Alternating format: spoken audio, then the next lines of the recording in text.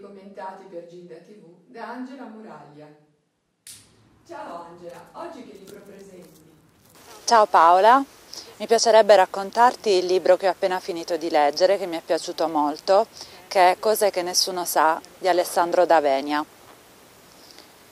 Ma io ti amo, disse lui, aggrappandosi a quelle parole magiche che non produssero però l'incantesimo sperato. Non è vero, tu sei fermo, professore, e amare è un'altra cosa, è un verbo, un'azione. Non è guardare un film su paesi lontani, ma andarci davvero, in due, valigie, fusi orari, attese, moltiplicati per due, asciugamani, spazzolini, letti moltiplicati per due, caffè, lacrime, sorrisi moltiplicati per due. Tutto è raddoppiato, mentre le fatiche vissute insieme, condivise fianco a fianco, mano nella mano, diventano meno di uno.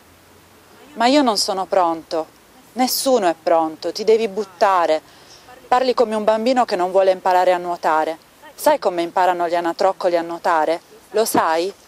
La mamma li butta in acqua e nuotano. Stella amava i documentari sugli animali quanto i libri. La libertà, Stella. La libertà, tienitela la tua libertà e quando ti sentirai solo con la tua libertà, non venire a cercarmi però. Come un adolescente tu sai sognare, ma come un adolescente credi che la libertà sia fare quello che vuoi e che i tuoi sogni si realizzeranno esattamente come li sogni. Ma la realtà dove l'hai messa? Sognare dentro la realtà, questo rende i sogni più grandi, veri, palpabili. Diventare adulti e trovare la pazienza per dare corso ai propri sogni, senza rinunciarci. Un professore è la sua musa, troppo ideale per essere reale un professore innamorato dei suoi libri più che della sua donna. Una donna, Stella, che lo ama nella quotidianità, non nonostante essa.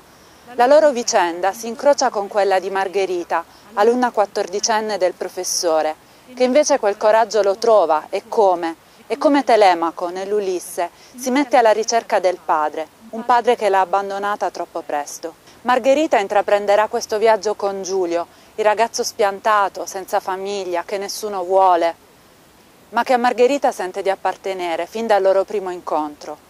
Come finirà questo viaggio? Telemaco riporterà a casa Ulisse e il professore capirà che l'amore, quello dei suoi adorati libri, non serve a niente se non gli insegna a vivere. E tornerà da Stella, che non ha mai smesso di aspettarlo, non ha mai smesso di amarlo, e Stella lo accoglierà in maniera totale. La mia voce dirà solo a te, ti amo, disse Stella, e un'altra diga crollò, lasciando dilagare nel mondo la vita, che è fare uno di due. Lui l'abbracciò e lei gli sussurrò qualcosa all'orecchio che avrebbe ricordato per tutta la vita, qualcosa che risolveva il segreto dell'amore e vinceva la paura che l'amore fa, perché per amare bisogna perdersi ogni giorno e morire un poco. Per questo ci vogliono così tante metafore lei non ne usò, ma quello che le disse sono cose che nessuno sa. E invece una cosa che so è che dovreste leggerlo, perché a me ha emozionato molto. Ciao a tutti, alla prossima!